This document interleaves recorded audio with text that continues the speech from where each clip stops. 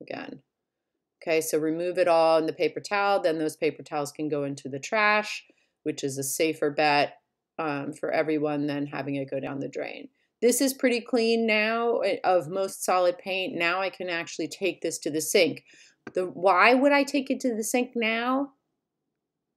Well, because the next thing I'm going to be painting in or mixing and painting um, is the shade shape here, right? And so that will should be just a mixture of your pure hue, in this case cadmium yellow light, and then your carbon black. Okay, I don't want any trace of white in there. And right now, even though I've you know gotten a lot of the paint out of the brush, you can even see on the brush there's still a tiny bit of white that will be present in that brush. Um, so I want to take it to the sink. I want to rinse it really, really well, getting my fingers kind of up in, you know, running my fingers through the bristles um, and sort of getting, massaging the paint out of it as it runs under the water. Um, when you rinse out, you want to use cool or cold water. No warm water, no hot water.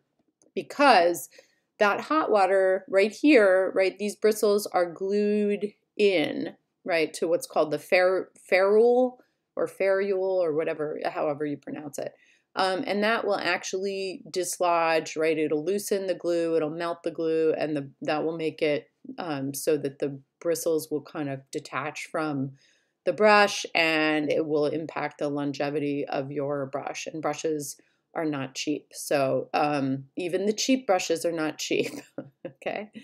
Okay, so let's go to the next one then. Um, here we go. Okay.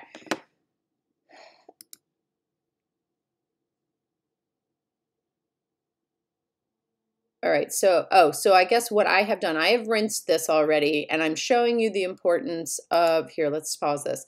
Um, let's actually go back, right? So I have been to the sink here, what I'm doing now is I'm knowing that as I come back from the sink, even if I squeeze out all the water in my brush, it's still going to be really full of water. So I'm doing everything I can to get as much water out of the brush as possible.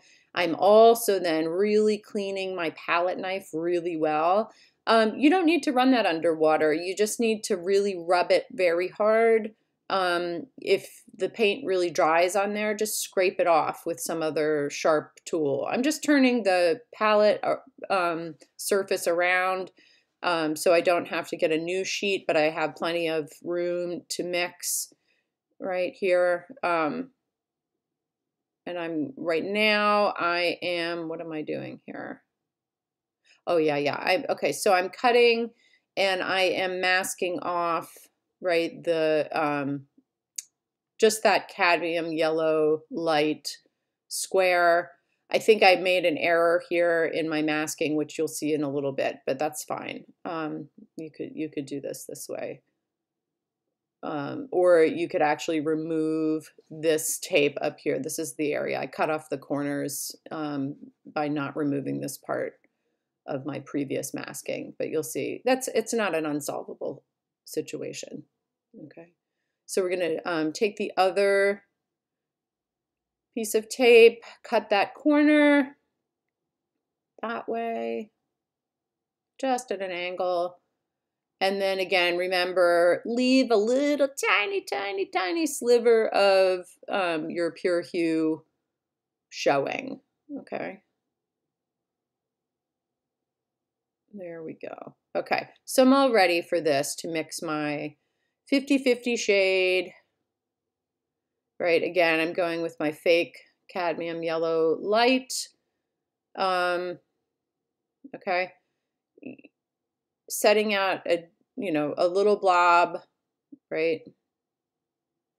You don't want, you know, you want to conserve paint, but you want to use enough to make this, you know, work. I probably am using a little bit too much there.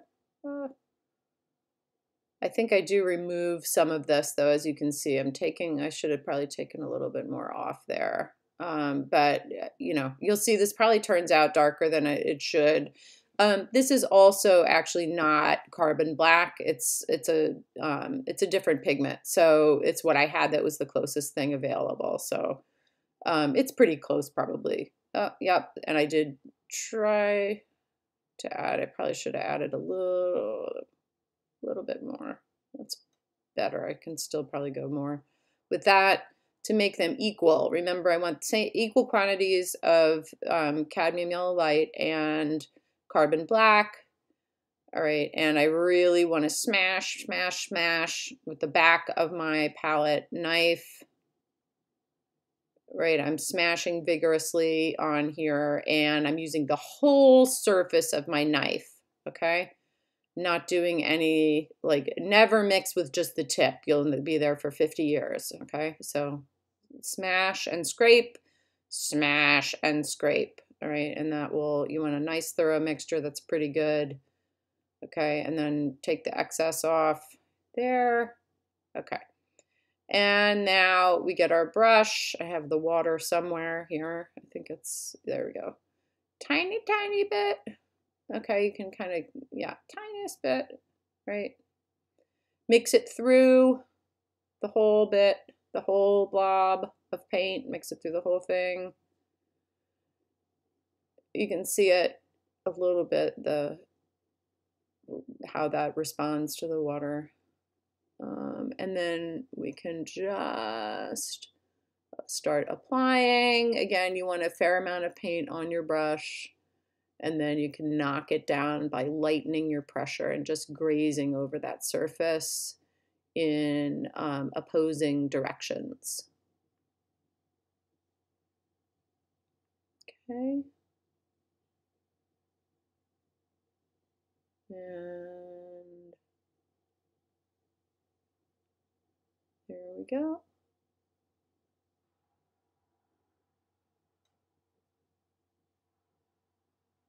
See the lightness of my pressure. It's pretty light touch, just kind of touching up. It's a little transparent.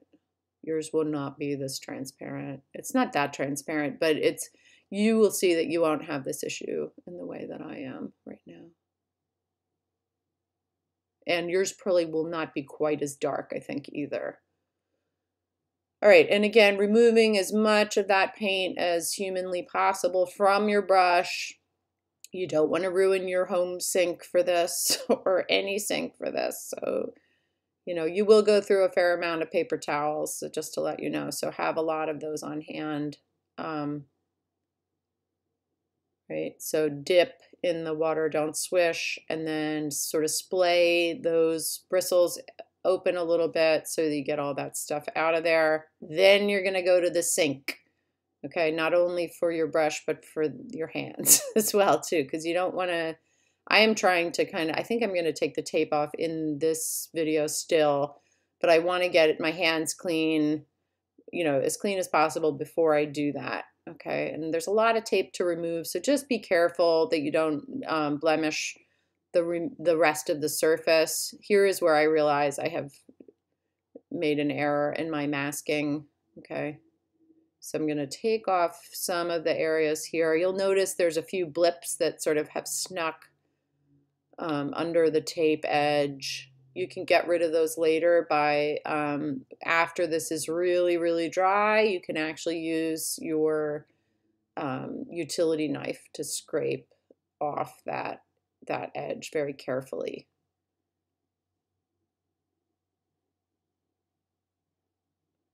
Okay I'm just gonna pull that off.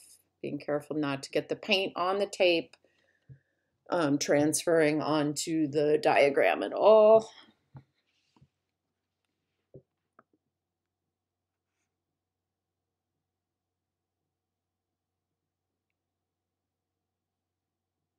Okay.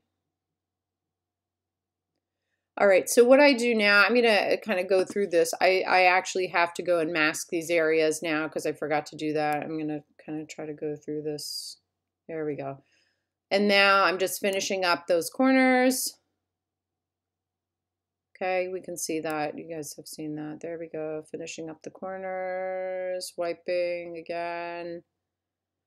and then removing everything. Okay. And then trying, you know, again, trying to touch up little areas. We can kind of scrape that off later on. Okay.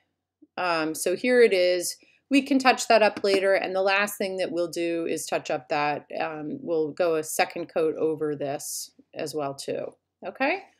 Um, let's see. Let's take this off. Um, all right, and yes, so that's um, that is. I, I'm going to stop now because again, this is a long video, um, and we will. I'll do the second set of videos um, in our next um, screencast. All right, thanks.